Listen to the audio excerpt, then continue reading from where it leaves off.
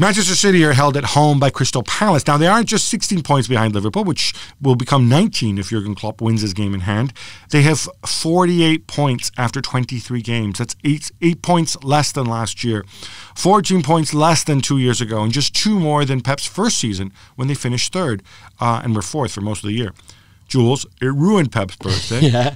But why this backward slide? Is it really all John Stones' fault? It's not all John Stones' fault. I mean, you know, he's, he's far from perfect. I think there's there's been a lack, like we've like we've said for many weeks now. There's been a lack of planning in terms of recruitment, uh, a lack of, of recruitment strategy, especially to strengthen the um, the, the, the back line, ev- even in midfield. I think where they could have done with a bit more fresh blood. I think the Leroy Sané injury was really unfortunate for them because they could have done now with him, especially when you see Raheem Sterling, who was so good for much of the season and now is not as good anymore. Uh, and and if Kevin De Bruyne is not, you know, in his at his best, let's say in terms of creativity, then I, I do think they struggle. Bernardo Silva is not as good as he was last season. David Silva is not as good as he was last season, and had some injuries, and he's getting older now. Fernandinho had to play a lot at the back when you you miss, and we've said it many times. Rodri is a lovely, elegant, talented player, but you need Fernandinho in that sort of midfield role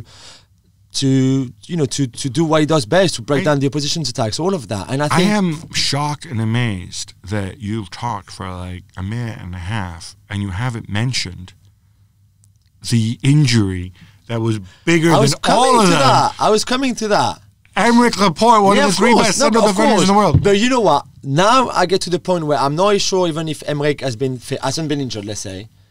I, I still think they be behind Liverpool. I think they've got more issues than just well, losing actually, defender. If Laporte and Sané are fit all season long, yeah. what is the gap between them and Liverpool? It's obviously, obviously not 16 points, but I still think they're behind them because I think there were there were too many weaknesses. The fullbacks again. How many times are we going to talk about fullbacks? Walker, Cancelo. This is not good enough. Mendy. But whoever plays left back, Cancelo, Angelino. Bad timing. Oh man, come on! I'm not saying Danilo is the, the best fullback ever, but to swap Danilo for Cancelo and some money as well, you think like really? And I, so I just think that even if you put Sané there, and even if you put uh, Laporte there for the whole season, I just I, I just think they're be, I think they're behind. I, I think they're behind Liverpool, and I just think also psychologically, when you come out of the two seasons that they just had domestically with 100 points and a 98 points, I just don't think you can do a third one like that with that degree of excellence, that degree of demands, and with with Pep at the helm. Even Pep himself, I don't think has the same intensity and this. This, the, oh. No, that, that, that he had. I, I don't think you can have a third season. Let's have this conversation after City win the Champions League. Yeah, of course. yeah, too right. No, but they, but they, they, won't. They won't win the Champions League. You know? you know that. But you know that they don't defend well enough to win the Champions League. It, you know what? Don't you think Real Madrid right now? If you look at Real Madrid and, and, and Man City, who's going to go through? Be honest. Be honest. Don't right don't now me, right with all the injuries that Real Madrid have. Like right now. I, I, I, I, I think it's very close. I think City can beat them. I mean, I, look, I for me, City. Do you think this City team can win the Champions League? For really? me, for me, City are one of the two, three favorites to win the Champions League this year.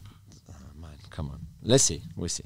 Thanks so much for watching ESPN on YouTube. And for more sports highlights and analysis, be sure to download the ESPN app. And for premium content and live streaming, subscribe to ESPN Plus.